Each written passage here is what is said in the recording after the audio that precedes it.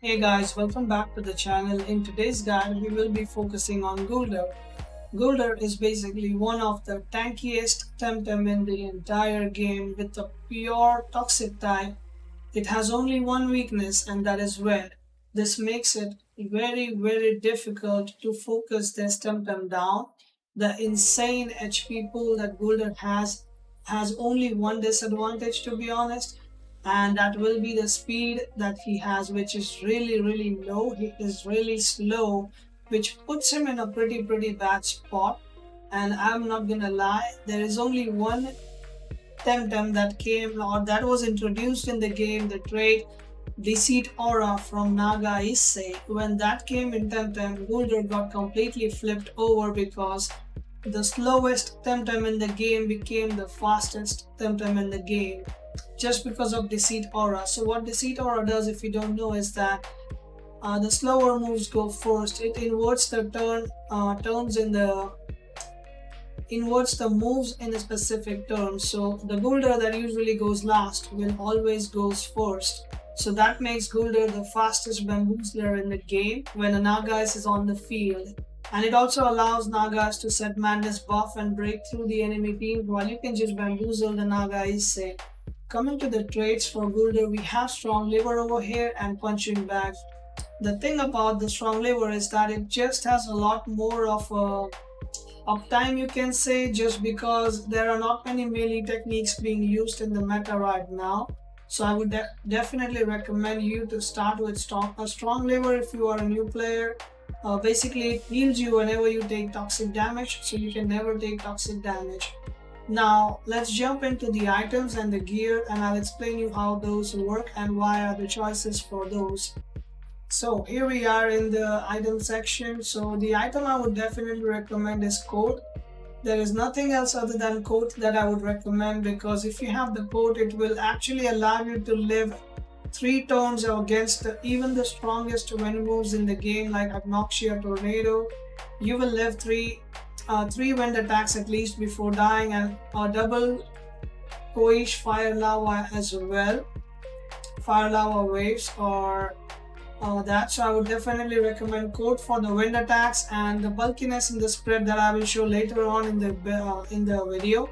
For that as for the builds uh, I would recommend to have toxic ink in the moves because that is the only poison staff that you have as a Goolder it will always go first as long as you're under a Nagas or with a Nagas and you will see I mentioned a lot of Nagas in this video because there is no Goolder without Nagas and no Nagas without Guldur. They are just made for each other. The traits complement each other a lot. Bamboozle is your bread and butter in this uh, move set because you are basically the fastest when the Nagas is in there. So this Bamboozle is gonna give you a lot of value. If you have a Naga, you just mad this buff um, harmful lick is the highest damage that a Goolder has, even more than the toxic ink if you do not count the, uh, the toxic ink damage. The ticks, I mean. So if you have a poisoned, uh, poisoned opponent already or a poisoned Temtem on the other side, harmful lick would be the way to go. Uh, the last move is always about either metabolize or you know shy shield or anything else uh, but the thing is, the value you cannot get a good value of charge shield or let's just say pollution just because they are very situational. But metabolize is really good. If you have a Naga, you can quickly pull out a metabolize and you know take the poison out and heal up. If you have a nature in your team, then it's even stronger because it gives you a regeneration for two turns as well. So it is in general just very good. Now let's jump into the TV spreads for Goolder and the one I would recommend would be let's go into it. So here we are. This is the TV spread that I would recommend for Goolder. 482 HP, 29 stamina, 223 defense, and 266 spe special defense. Uh, the reason why you want 29 stamina is that it will make you go to 61, which means you can do 5 toxic kicks or bamboozles uh, without getting overexerted, which is really, really what you want with the Goolder. So definitely go for that much.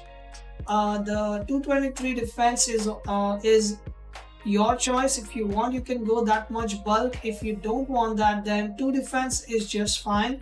266 special defense along with coat allows you to withstand the strongest of wind attacks for at least three turns. Uh, another spread that I would recommend was gonna be 221 attack, 2 defense and 266 special defense. The stamina and HP stays the same. This basically allows you to 2 hit knock out the Nagaise when it's in the opponent team. Coming to the allies for Goolder, it's very obvious that you want a Naga if a Goolder is in your team because that is what makes Goolder Goolder. And Kinu, having a Kinu on your team aside, of, aside like on side of the Goolder is really really good the protector buff just makes it even difficult to defeat or to you know kill the Goolder. It's just a lot of value for you for having it aside a Goolder.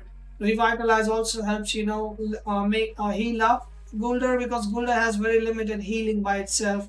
Other than metabolize it does not have anything uh, to save itself.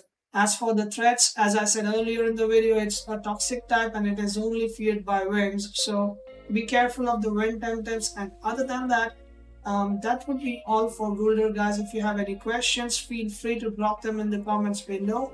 If you would like to see me make another video on another of your favorite Temtem that we have not covered yet drop them in the comments below as well. If you like the content we are making please consider liking sharing and subscribing to the channel.